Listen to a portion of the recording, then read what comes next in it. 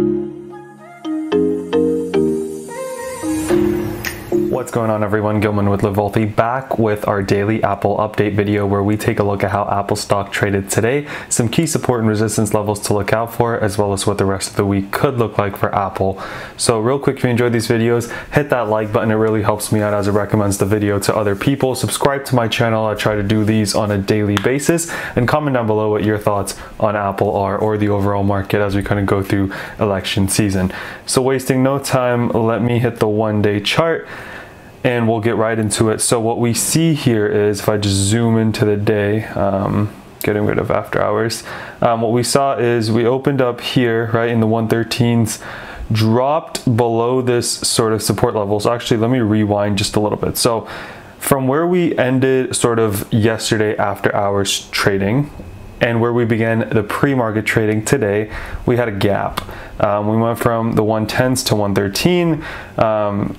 Again, this, this horizontal line 112.72, it's not a perfect line around the, the high 112s, low uh, 113 should be good support as we talked about, which, I mean, every time we did below, we come back. But all that to say, when we started the day, we went below it um, just for a little bit. We came up, got rejected by the VWAP, went back down, but this time found support right at this horizontal line. And this horizontal line is something that I've had on my chart for I don't even know how many weeks now. Um, if you've watched my videos, we've had this horizontal line for a while acting as good support. So then we found support right there, um, and then we pushed up, and this run was amazing. I was really astonished by it. Uh, but we went all the way from the 112s to the mid 115s. Um, weren't able to quite break that level. Um, so we came back down, tested VWAP, went up 115.59 again couldn't really break through that mid 115s came down tested it a third time right? As i said yesterday sometimes the third time is when it breaks through. Didn't happen. Um, so then we were kind of trading sideways for the rest of the day between um, you know the mid 114s or really the VWAP and the 115s um, so again tested it tested VWAP here came up tested VWAP again came up tested VWAP again um, and then we kind of were just trading sideways for the latter uh, for the last like hour of trading all that to say, um, you know, kind of two takeaways here. We are up $4.51, which is 4% on a stock like Apple in a given day, right? Apple is close to being a true $2 trillion company again, something it was kind of far away from as it was dipping um, last week. So, so that's great news. And then the other thing is, you know, anytime we came to the VWAP for the second half of the day, and even here, we were at a bounce off of it, which is again great news. Taking a look at some of the indexes, right? Tech overall had a great day. NASDAQ was up 3.85%, which, I mean, a lot of mutual funds, right? If you invest long term and don't look at them, give us like 8, 10, 12% returns um, annually, right? To, to get 4% in a day is ridiculous, but it's great for us. Um, Dow was up about 391 points. S&P was up $7.63, which is 2.27%. So as you can see, we've got 2.27 here, 1.42 here, but tech was up almost 4%, 3.85. You know, Google was up 6%, $100. Amazon was up um, almost $200, which is 6%. Um, and Apple was up nicely as well. This is all great. Now let's take a look at our daily chart and kind of what we see there.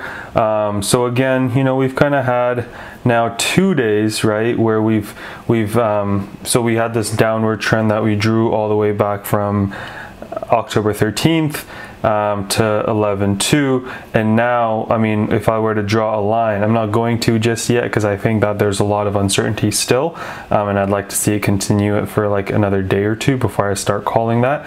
But um, you know we're making higher highs and higher lows right? So the low of two days ago was 107 the low of yesterday was 108 73 and today's low is 112.35 Similarly, the high of two days ago was 110.68, the high of yesterday was 111.49, and the high of today was 115.59.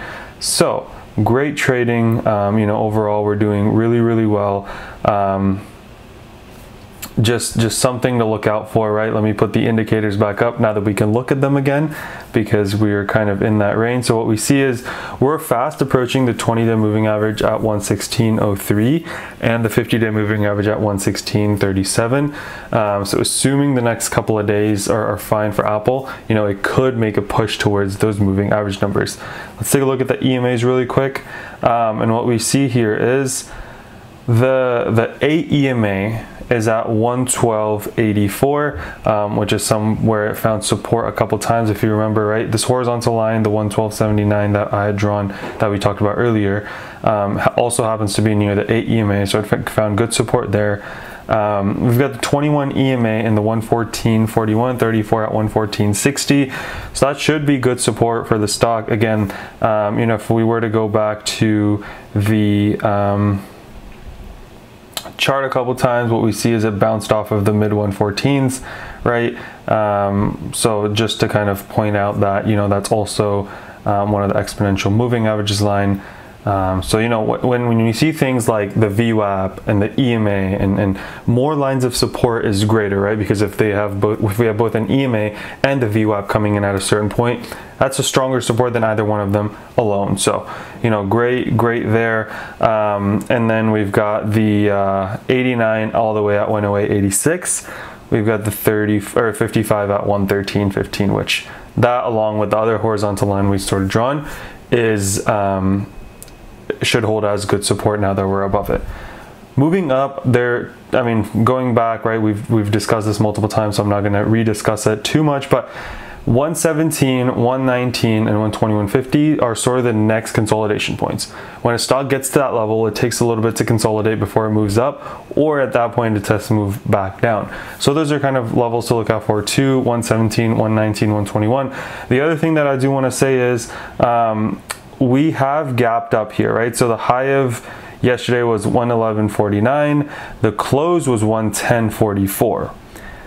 The open today was 114.17 and the low was 112, right? So we still have a gap from where we closed yesterday at 110.44 to the open today, which is 114 uh, or excuse me, the low today, which is 112. So 110.44 to 112.35 is an air pocket, right? It is a gap that we could go down to fill if we come back towards that 112 level right? So just something to keep in mind if we were to go down, which we've gone up for two days in a row, which is super surprising because we're in election season right now and there's a lot of uncertainty and we don't have a winner yet. They're counting votes and there might be lawsuits, there might be recounts, it might be it might get worse before it gets better is what I'm trying to say and I'm just really surprised to see the stock market kind of pushing up during times like these. So just something to keep in mind we've had two great green days right for both Apple and the overall stock market in general. Um, so could we see a push down tomorrow or Friday as we sort of have the election uncertainty continue? Potentially. Um, just something to keep in mind. Um, yeah I'm personally as I told you guys I'm kind of being cautious with my trades right now. I'm not going super heavy um, with my trades just because I would rather wait for the uncertainty to be over for me to actually believe in the technicals, right? Because right now a lot of the market is driven by coronavirus or it's driven by um, the elections, and I want to kind of wait for um, that to be over. Um, before I go, you know, heavy into the market again. I am still invested. I'm long-term bullish on Apple. I have Apple stock, but I'm not doing options as much as I would normally. So just something to keep in mind, the positive catalyst that we have is no matter who becomes president, we're likely to see a stimulus bill, which should be great news for the market. We are hopefully going to see a vaccine sometime before the end of this year, which is only like a month and a half away. So hopefully, or month, two months away, right? November just started. But just something to keep in mind, we have those two positive catalysts. The negative catalysts right now could be the election, depending on, you know, kind of how the losing side takes it or when we find out or if it drags out um, and the rising coronavirus cases as we move into winter. Those could be two negative catalysts. So um, be careful. Hope you guys are all staying safe. Um, hope you guys are all, um, you know, trading carefully and sticking to your plan.